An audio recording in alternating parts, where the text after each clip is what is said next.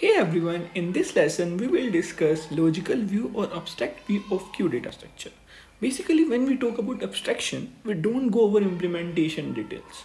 We generally discuss about features and operations. In actual practice, queue is a structure in which whatever goes in first comes out first. So in general, queue is a FIFO structure. Whatever goes first, it should goes out first. So if we want to construct queue as a data structure, then we need to support both insertion as well as deletion in the queue. In queue, as we need to maintain FIFO property, so both removal as well as insertion should happen from different end. It means if insertion happens in the front, then deletion should happen from the end and vice versa. Let's take an example to understand this thing. Let's say this is the snapshot of the queue at some particular time. Let's say this is the snap snapshot of the queue and this is the front element of the queue and this is the last element of the queue or we can say as rear element of the queue now uh, so as we can see here that if we want to make an insertion it should happen at the end of the queue which we call as a rear or tail of the queue likewise deletion should happen from the start of the queue which we call front of the queue as if I want to delete some element it should be even because this element entered first into the queue. As and if I want to insert some element it should insert here. So this is the snapshot of a queue at some particular time.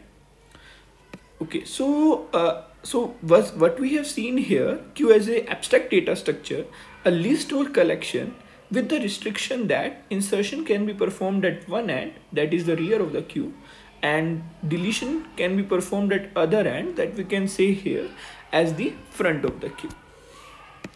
Let's discuss operations in the queue now. If we want to create a queue, what sort of operations that we need to support? The first operation is insertion, which we call enqueue in the terms of a queue.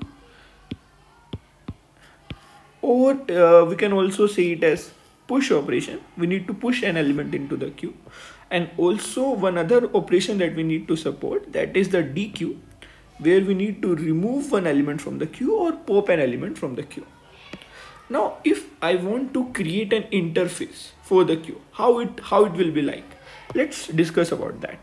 If i want to create an interface for the queue it will be something like i need to support these functions. The first function is enqueue which supports insertion and the second operation is dequeue and here I'm assuming that uh, queue is maintaining integer elements but it can be of any type.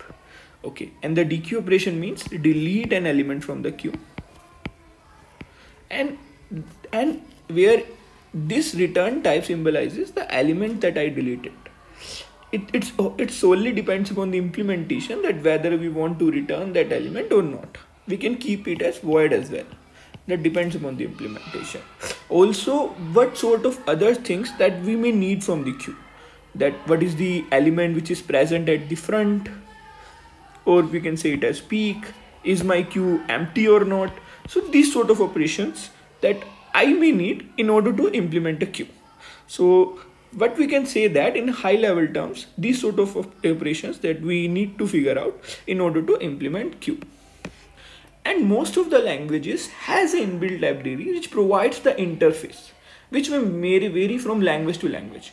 And as a developer we don't need to worry about the implementation details and we can create a queue data structures with the help of available functions. As we, can, as we have seen here that the operations can be enqueue dequeue front is empty. Now uh, now what we can say also as queue as a container which is open from both ends. As we have seen here that that we are entering an element from this side and removing an element from this side. So it is actually an open container where element goes in from one end and element removes from other end. Now uh, let's say we have this operation available in the library. Let's try to simulate queue. Okay, uh, let's say in the starting we have an empty queue. And we need to insert an element 2 into the queue. That means uh, we as we have in library so then we can simply call enqueue function of that library. And we need and we can insert q in our 2 in our queue. So when we insert 2 it will comes from here. Fine. So now as we know that uh, we need to maintain two pointers or two variables which keeps track of which is my front element as well as which is my rear element.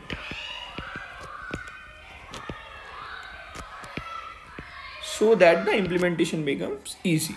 But so if we have only one element in the queue then both front and rear pointing to 2 fine. Now let's say we are inserting one more element into the queue that is 5 and it will go from the rear side from this side. Now as we now we need to update our front and rear. Let's say internally the library it's handling all those things. Now the rear reaches here and front remains here. Now let's say we have one more operation. Let's say somebody asks one more operation to insert 3 into the queue. Then the snapshot of the queue will be something like this where the rear is pointing here and front is pointing here. Now let's say somebody asked us to dequeue an element. That means delete an element. As we know that deletion occurs from other end from this opening of the container. So then our front got updated to 5 and the rear will be 3 so let's now we have done the simulation part uh, and we have seen and the queue that how it is actually the in a high level way actually. Now let's discuss some real world examples uh, to understand it better. And it is generally used when there is a real world when there is a shared resource that's supposed to serve some request. And the source can handle one request at one time. In such scenarios it makes more sense to queue up the request and the request that comes first serves first. Let's consider an example. Let's say we have a printer that is being shared across the network and it can print only one document at, at a time when more than one request comes to it it cannot say that I cannot serve your request. So what printer will do? It will maintain a queue of requests and serves them one by one as long as there is a request in a queue. It will keep picking up the request one by one.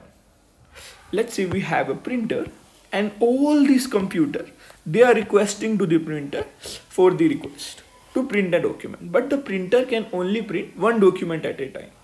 So what the printer will do it will maintain a queue and store all the requests into the queue. And what it will do now after serving a request it will pick an element from the front of the queue and serve that request.